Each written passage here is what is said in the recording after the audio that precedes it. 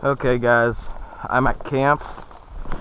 This is the first time I recorded. Um, I've been asked to help out with something real fast, but before I go over, I'm gonna make a couple casts over here in some of these shallower spots with my live target.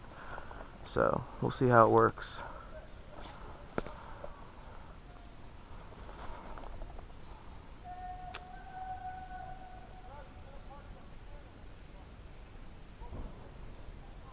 Normally the frog works best because it's hard. Can't really get it back in there into those weeds. That's where they're all hiding right now. I can just see them rippling. I don't have time to change baits. If anyone watching this knows anyone from Live Target, give them a please give them a call for us. I've been trying to get a hold of them, try to get sponsored, but you just don't answer, I guess.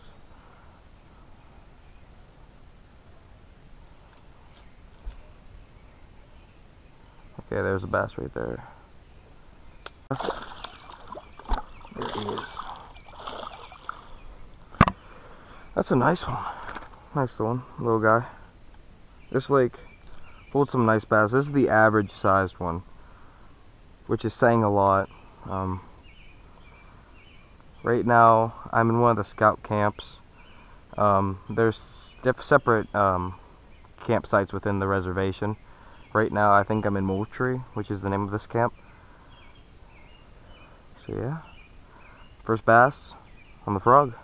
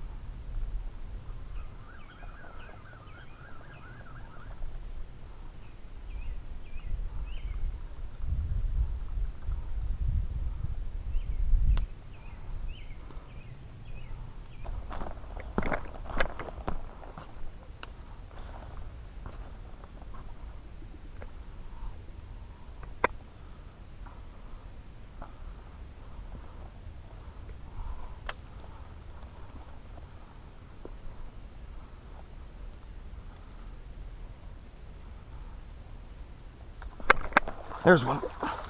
Dang it. He was a little guy.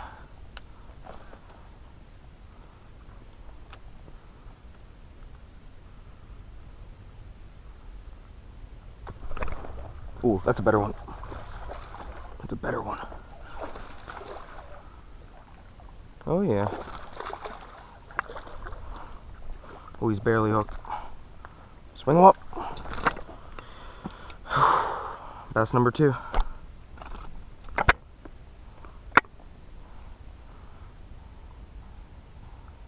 Very nice bass.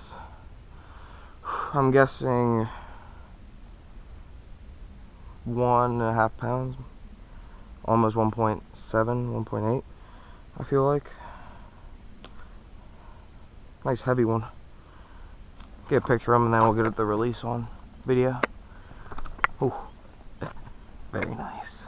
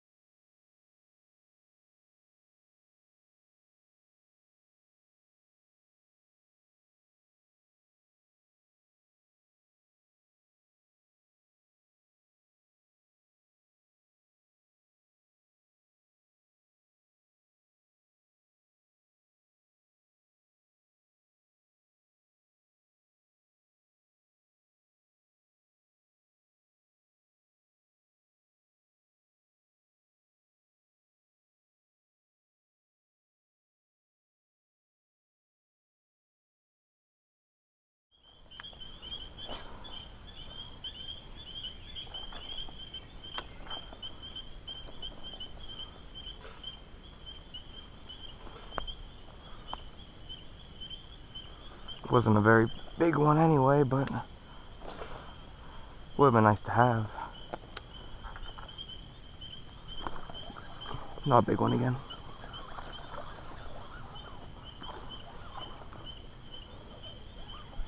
I think he's being chased. We just got a little heavier.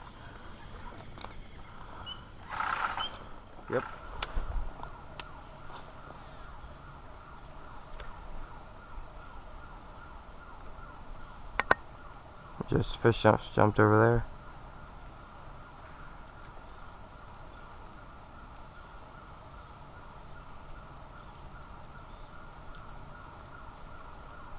Okay, I got back into this little cove. Looked like a bunch of bluegill were just being chased around, so I came back here and caught this nice little guy. I'm guessing a good 10 inches. That's a nicer one. Real stuck in those weeds though. Come on. Definitely nicer. Uh, yeah, there's one. Okay.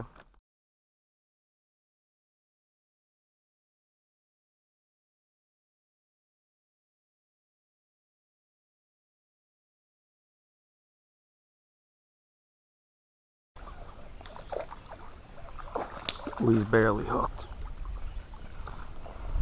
There he goes.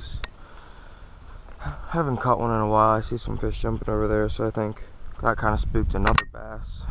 Nice little guy. Nice mouth on him.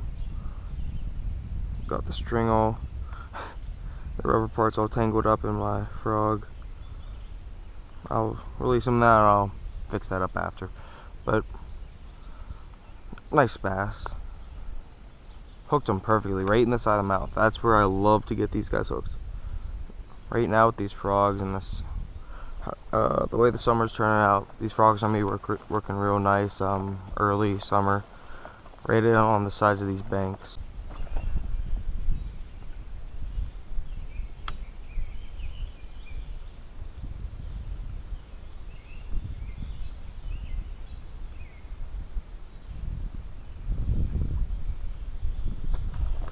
There's one.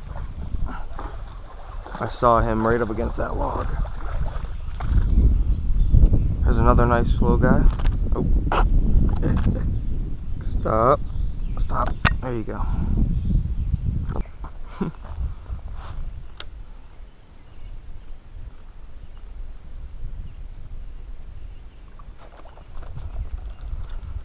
Didn't hook him. He should bite again.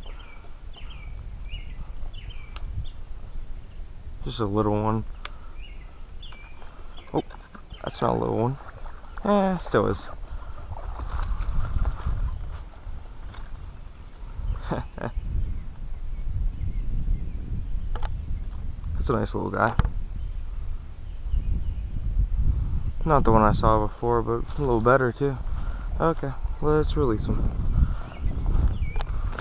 Oh, you wanted out get it on camera, but caught this nice largie on um, the Fulks Custom Crank Shallow Diving um, Natural Gill. Caught him right there, right in the side of the mouth. So go um, to Nick's website and um, tell him I sent you. His lures are amazing.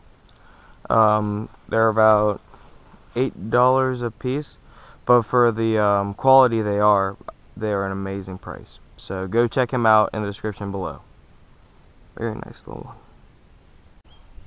Just caught a little guy on the FC um, not FC Red Craw, on the uh, natural gill from Fulks Custom Cranks.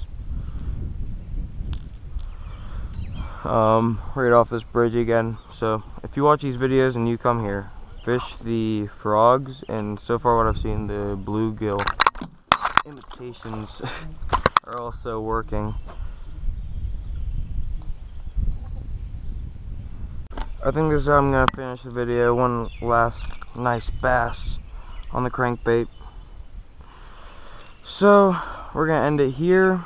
And I'm not sure how I'm going to upload these videos yet. But I'm sure that once I get back home for a little while, I'll have time to edit. So, we'll get the release on him. And then I will see you guys in the next LDB Adventures.